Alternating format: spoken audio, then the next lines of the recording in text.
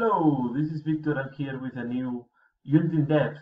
And now, yeah, we keep talking about uh, Chaos Space Marines. Uh, we keep on the elite choices. And now it's time for the Khorne berserker. So we start doing the units dedicated, the elite units dedicated to the different gods. Be aware that if you have uh, um, a Chaos Lord with a Mark of Khorne, they will become troops. So they will be they will move from elites to troops. The same if you take Kharn the Betrayer uh, in the primary detachment, the Berserkers will become, the Berserkers will become troops. So although they are on the elites, they can be troops depending on the army build. So let's make a look to the army, uh, to the unit, sorry. So we pay 105 points for a Khorne Berserker and a Berserker champion.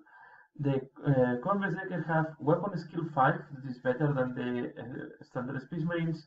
Ballistic skill 4, strength and toughness 4, 1 wound, initiative 4, 1 attack, leadership 8, and 3 plus saves. So the only really advantage we see here in the profile is that he has better weapon skill. On the rest of the abilities, he's, he has the same as any other Space Marine. Uh, for the champion, we see the same upgrades that we see for the champions in Chaos, is plus one attack and plus one leadership. So have two attacks and leadership, nine. War gear, war gear they have power weapon, power armor, sorry, bolt pistol, close combat weapon, frag and krak grenades. So no bolter for them. So of course they are berserkers of Khorne. They are dedicated to the close combat and yeah, and they have a bolt pistol and close combat weapon. This means that they have two attacks. Uh, special rules. Uh, the champions is a uh, have the champion only, so have to, as any champion in the Chaos Space Marines, have to issue and accept challenges uh, instantly as possible. They are fearless. They have furious charge, and they have the Mark of Khorne. So Mark of Khorne, remember, give them rage and counter attack. So that means that they always uh, count as assaulting. But if they assault, they have plus two attacks. So when they are assaulting, they will have two attacks because they have one attack plus additional weapon. Uh, they will have plus two attacks because of rage, and they will have a strength five. So this this is making them quite scary on the assault. But remember that the weapon they have doesn't have any AP. Let's do to the options. So in the options, uh, they can might take up to 15 Khorne berserkers. So they can you can make a unit of up to 20. I don't think you can you want to go to that big number of berserkers of Khorne. They cost 19 points for each. So means that uh, 10 more will um, mm, yeah means that five will cost now 95 points so if you want to do a unit of 10, it's 200 points. If you want to do a unit of 20, it's going to be um, 390 points, almost 400. And this without any type of equipment. Uh, any model can take the chain axe. The chain axe costs 3 points per model. And what is, uh, is the same as the chainsaw with the difference that it has AP 4. So if you are going to, if you know that you are going to fight against, um, for example, Necrons or against uh, Tau or something, or any enemy that you know that is using um, troops with um, armor 4, this can be a good choice. Uh, I have some in my army. I use uh, normally I, I use them. What you see is what they get, so I pay these points from time to time. I don't think it's really a worth it upgrade most of the times. It's not going to be very useful. But here you have this choice, and if you know the, uh, which army you're going to fight before the battle, this can be an option that you want to evaluate. Remember, three points per unit, uh, per uh, uh, per miniature. So means if you are using this on nine guys, because you, I guess you want the champion with better options, you are spending 27 points. It's we go to quite expensive unit. If you will see, base uh, base for 10 is 190 points. Uh, with all the grades, you will be you will go over 200 most of the times. Then we have the next option. Up to two Khorne Berserkers may replace the bolt pistols by plasma pistols. Uh, this is expensive, 15 points for this option is quite expensive.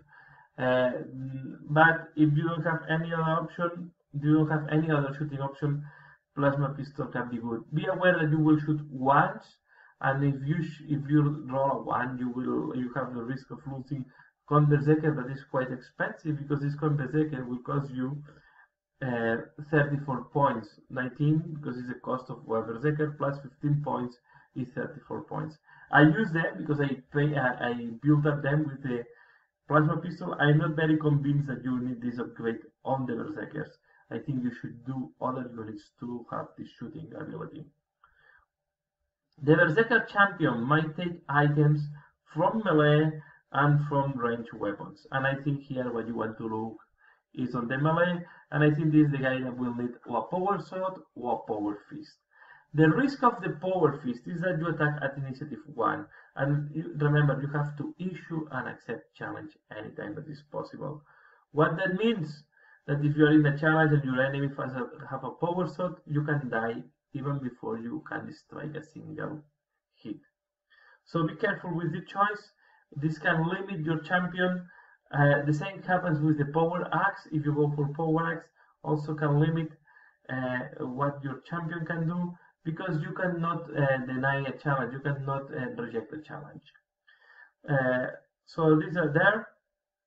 Then the Berserker champion might take the of mutation as any champion for 10 points. I still believe this is too expensive. 10 points for a gift of mutation. Normal, uh, most of the grades will not do any will not give any benefit to to your uh, champion. Although when you go to close combat, most of them are more useful. For example, if you take plus one ballistic skill, what is the advantage of that? If you get Eternal Warrior, why you want that? Uh, plus one attack can be good. Plus one to initiative, depending. If you have a power fist, on a waste. So you have to be very careful because most of the uh, Chaos Boon table upgrades are not that good. I think they should cost 5 points maximum. 10 points I feel is too much. Uh, uh, remember that when you get this uh, as a uh, as equipment at the beginning, you reroll if you are transformed into spawn or if you are transformed into a demon prince. So this cannot happen from the beginning of the battle. Uh, what else we have? Yeah, they can take the Berserker champion can take Melta bombs. If you don't take the Power Fist, I highly recommend the Melta bombs, just in case you get engaged with a Dreadnought or you get engaged with any type of Walker. Uh, you want this to disengage. Also, uh, together with the krak grenades, if you have a Melta bomb there, it's it, this can be also a good way to hunt some vehicles in close combat. It's not the best use, I would say, for the Berserkers, but they are going to be exposed to the close combat, so they, they're exposed to be counter-charged by a Dreadnought. So you want some tools not to get stuck on front of a Dreadnought, being, uh, not being able to do the damage that you want to do, and see how all your uh, unit is disseminated just by an inexpensive Dreadnought. Uh, one model in the unit might take the icon of Wrath. Uh, I don't like a lot the icons for Khorne. The icon of Wrath give them Furious Charge. They already have Furious Charge and they can roll the charge range. This second can be useful, but 15 points, I'm not sure. Uh, you can balance. If you have 15 points extra in your army, you can try to use it. I don't use the icon of Wrath. And the unit can take veterans of the Long War uh, special rule. Uh, of course, if you know that you are going to play against Marines, you have to take it. It's not uh, you don't have to think about that because you get you get hatred against Space Marines, and this is a, a very good rule. Uh, if you don't know, uh, for one point plus one to leadership, you put the, the unit to leadership 10. Here is not important. It's not that important unless you, you are objective, if you've been targeted by a, a power seeking that go against um, uh, leadership. But it's not that important for the Berserkers because they have uh, fearless, and most of the time they will ignore any check of leadership. Uh, and then at the end, they can take a Rhino as a dedicated transport. So remember, you can use the Rhino to do half of the way to the enemy. this will give extra protection. I think this really did, uh, need some type, some, some, some type of uh, transport. Or you use a Rhino that is very cheap, but you have to take in mind that you cannot assault from a Rhino. Or the next option that you have, and here is where we have all the limitations in this codex, or you need to use a Land Raider. We don't have drop pods like the Space Marines. It's a pity. So yeah, Land Raider is another option. Land Raider, you you want to put nine Space Marines with a character inside. This can be very scary in close combat. This can be quite strong. I use this, but remember Land Raider that you have for the Chaos, it's only the the normal Land Raider, the one with lascannons uh, on the sides, and I don't think they can have any soul cannon. Let me check the options they have. The Land Raider, yeah, the Land Raider we have is a twin wing heavy bolter, twin wing last cannons, lascannons, Searchlight, and smoke launchers. No more upgrades, no more options. So it's the very basic Land Raider, the one that is, is the old school Land Raider. So yeah, this is another option. Uh, personally, I use them normally on rhinos. I run them on number of eights because this is the number of Khorne, and I build up my NM, my units around units of eight. Uh, upgrades, I think the only upgrade that is really worth it is the uh, Power Fist or Power Sword or Power Axe on the on the champion. I think the other upgrades uh, it's a lot of points for a unit that will be in close combat. You want them to be engaged in close combat, and for a shot of plasma pistol on the battle, I'm not sure that you want to spend 15 points. So yeah, this is my review. Uh, please let me know. This unit used to be was very popular in, in fourth and fifth edition, but today is not that popular. Why? Because the close the close combat in seventh is not favorable. It's more favorable to go to shooting. So yeah, this is my comments. Is it still a unit that I like to use? Is a unit that I like. It's quite expensive.